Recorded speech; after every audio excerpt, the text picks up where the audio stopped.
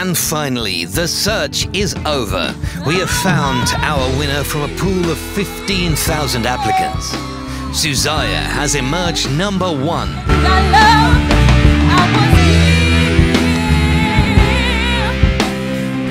As voted by you and the judges.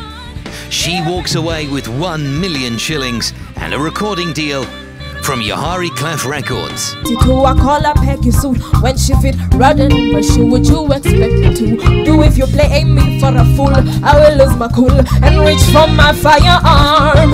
I didn't mean to lay him down, but it's too late to turn back now.